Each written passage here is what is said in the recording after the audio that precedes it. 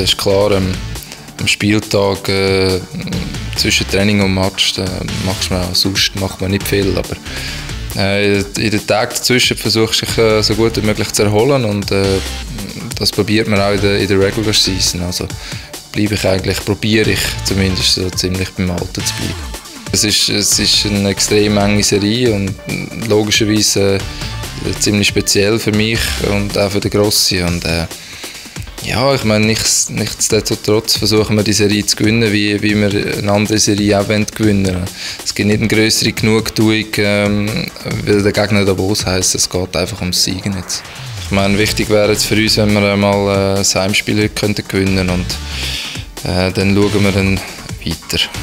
Wir probieren alles zu machen. Ich meine, jede Entscheidung so gut wie möglich äh, zu treffen.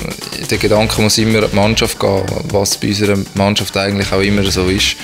Und äh, schlussendlich, klar, wäre ich froh, wenn ich, wenn ich vorne mit in der Offensive dazu beitragen kann, dass wir schlussendlich ein Goal mehr schiessen als Davos. Wir probieren uns natürlich äh, und auch unserem Publikum zu beweisen, dass wir daheim äh, vorlegen können in dieser Serie.